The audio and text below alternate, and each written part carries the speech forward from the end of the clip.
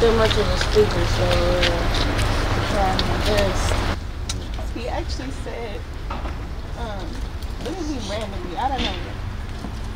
I wouldn't be able to leave this earth without teaching you to um, tattoo. He was always telling me like, you gotta, you gotta continue the legacy. You gotta, you gotta.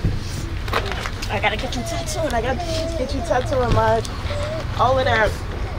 She would always be in my ear about that. I'm like, bruh, I gotta finish school. I gotta finish school. like I can't juggle this many things at a time, and that's one thing he was always good at was juggling so many things. And I just wish going forward that I could just be like him in that way of just having so many things going on for myself and just for my family and for him in honor of him and just making sure that we do get that shot that he talked about in just the two days that we had together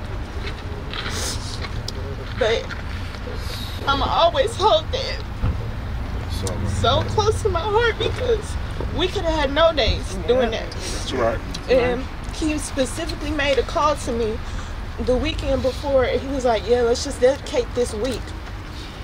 So while we didn't get a week, I know we got them two days, and I'm so inspired going forward just to make his dreams happen. I took this picture. and the other one with the crown, I took that one too.